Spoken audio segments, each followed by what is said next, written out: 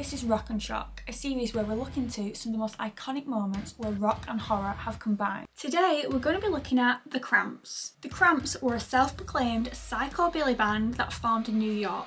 They also describe themselves as gothabilly and rockabilly voodoo to market themselves to fans, combining 50s rockabilly music with their horror-esque vibe focus of their lyrics was camp humour, sexual double entendre, and retro horror and sci-fi B-movie iconography.